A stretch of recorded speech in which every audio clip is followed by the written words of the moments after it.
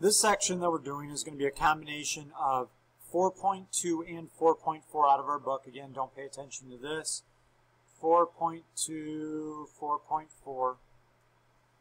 Okay, and what we're going to be doing is we're going to actually start getting into the trigonometry, into the meat of what I think is the most important thing for us to know. This, the first uh, several sections that we do uh, moving forward, these are really, really important. It's really uh, what you will take with you out of the uh, out of the trig portion of pre-calculus. And the objective is to be able to find the sine and cosine of any point on a coordinate plane.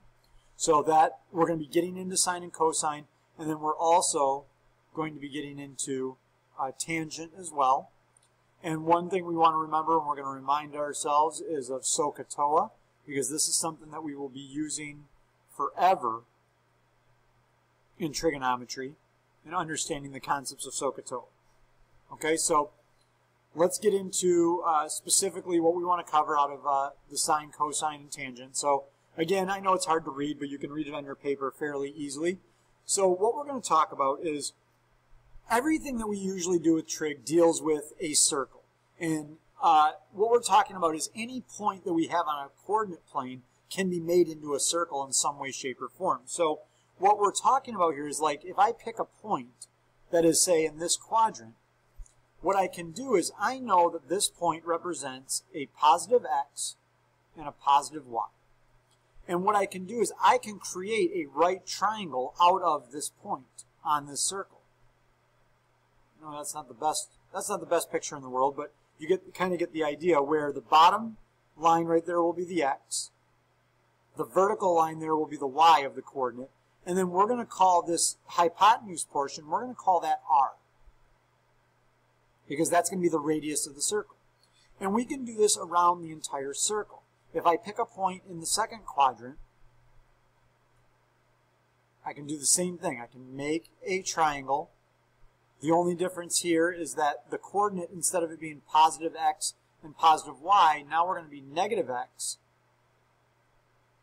and positive y where the negative x is on the x-axis, the positive y is on the vertical, and then our radius is still going to be the hypotenuse. And then we can go through and do the third quadrant. Draw that. Still a right triangle. We still have our negative x as the x value, but now it's going to be negative x and negative y. So we have negative y down here. And we have our r for our radius.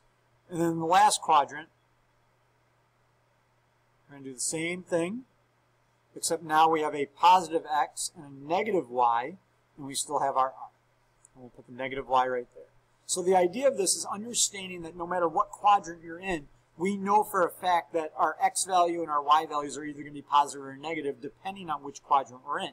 Now, what we could do is, this is really small, but I can't really, I'm not going to write it in here too much, but I'm going to make sure that we understand that might be tough to see. But theta is going to be all four of these angles.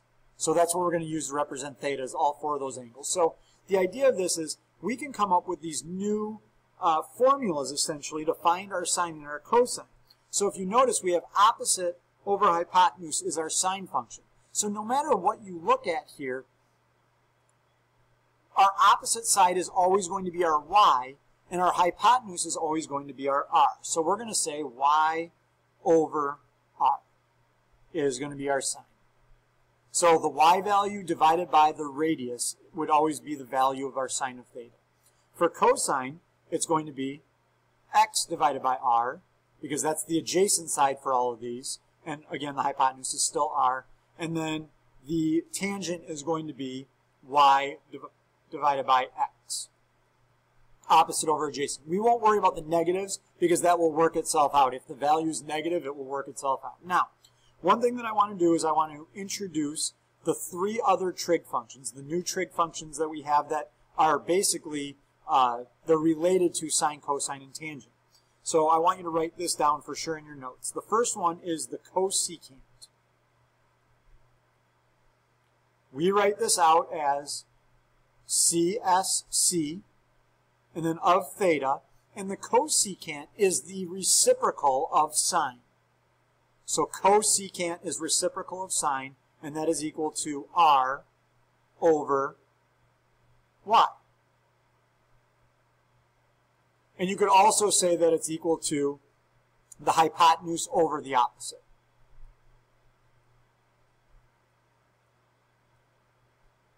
The next one we call secant.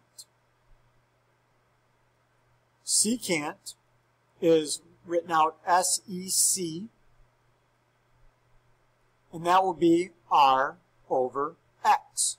And again, that is the reciprocal of our cosine, which would then be hypotenuse over adjacent. And then the last one is cotangent. So just co and then tangent. And that will be COT theta. And that will be x over y, which is the same thing as adjacent over opposite. And that is the reciprocal of tangent. So we will be using these. It's important for you to know them and start to get familiarize yourself with, with what is paired with sine. So sine is paired with cosecant, cosine is paired with secant, and tangent is paired with cotangent.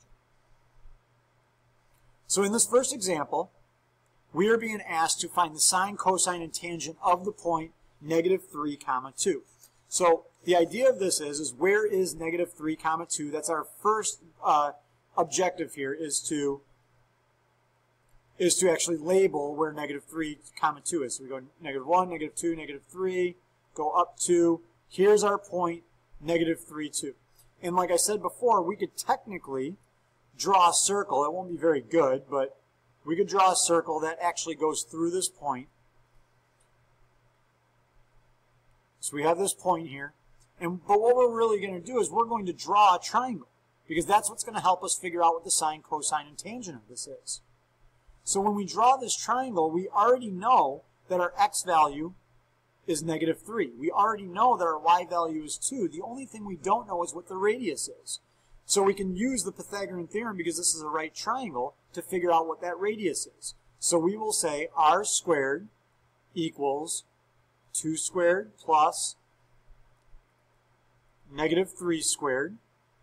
So r squared equals 4 plus 9.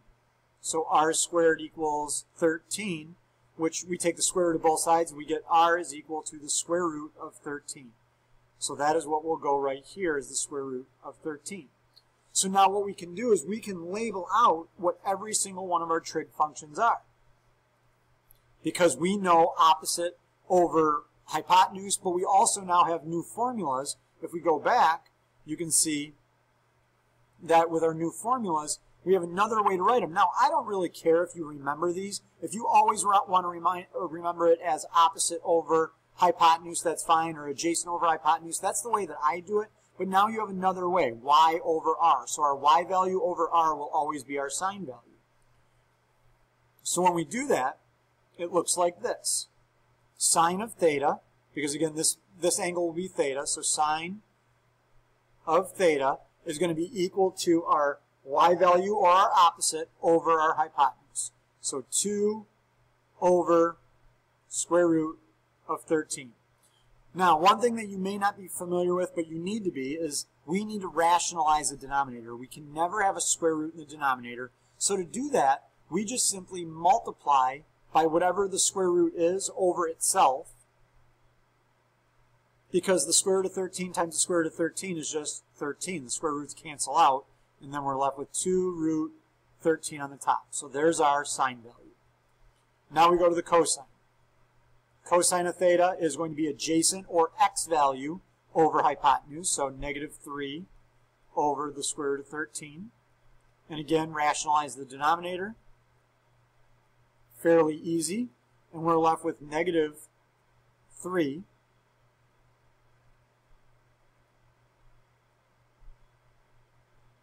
root 13 over 13. And then the last thing we do is the tangent of theta. And the tangent of theta is opposite over adjacent. So we have 2 over negative 3, which is just equal to negative 2 thirds. So those are the three values that we get. Okay? So moving on to the next example, very similar example, but we're going to be in a different quadrant. So this is going to be at 4 comma negative 2. So 1, 2, 3, 4. And then we're going to be down in this quadrant. So 4, negative 2. And again, you could draw a circle. I know it's not going to be good, but you get the idea. So we have our circle. There's our radius of our circle. And there's our triangle. So our 4 is going to be the x value. Negative 2 is going to be the y value. We need to figure out our hypotenuse. So we do r squared equals 4 squared plus negative 2 squared. r squared equals 16 plus 4 equals 20. So r, r is going to be equal to the square root of 20.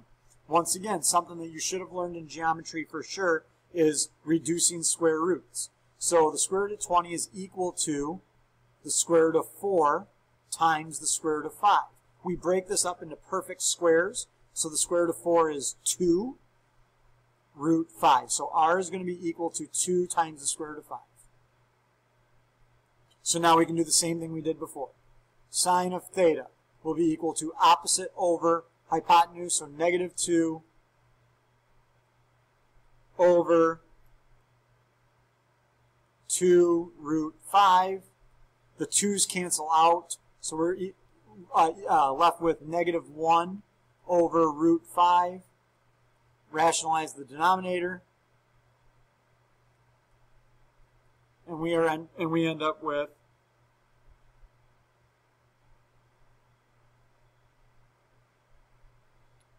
square root of 5 over 5. Now we do the cosine of theta. Cosine of theta is going to be 4 over 2 root 5, which is equal to 4 divided by 2 is just 2. So 2 over root 5, rationalize the denominator, and we're left with 2 root 5 over 5. So there's our sine, there's our cosine, and then we can do our tangent, which is opposite over adjacent or uh, y over x, and that's negative 2 over 4, which reduces to negative 1 half. Okay, so that's that. So those are that's basically being able to find the sine and cosine and even tangent at any point here. Okay, so moving on to another example. This is another type of example that you're going to get. And what what's going to happen here is they're going to tell you what quadrant you're in, and then they're going to give you the value. So they're saying sine of theta is equal to negative 5 over 13. So because of this, we, and they tell us what quadrant we're, we're in, we know that we're in this quadrant. So we just immediately draw our triangle in this quadrant. And because they've given us values, sine is opposite over hypotenuse. Therefore, 5 has to be opposite of theta. So the 5 is going to be here, which is. And then the hypotenuse is going to be 13. So again, what you'll do is they want us to find cosine. Well, we know that we're going to need this value right here for cosine. So now that we have two sides of our triangle, we can use the Pythagorean theorem again to figure out what that third side is going to be. So we have 169 equals 25 plus x squared, and we keep going. We have 144 equals x squared, therefore x has to equal 12. So therefore this is 12. So the cosine of theta here is adjacent over hypotenuse, so the cosine of theta equals 12 over 13.